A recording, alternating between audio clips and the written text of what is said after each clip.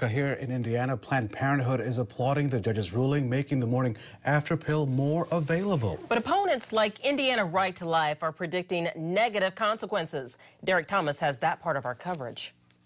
The case began in 2005 when the Center for Reproductive Services filed suit at Brooklyn Federal Court.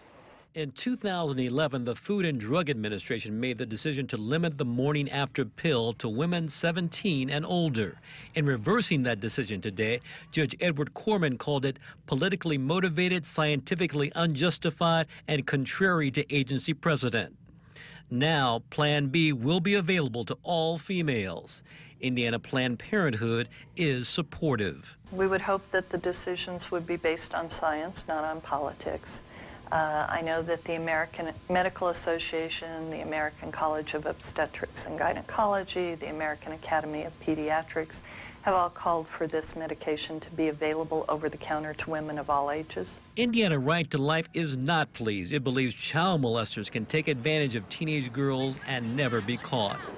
We're disturbed in terms of the policy implications.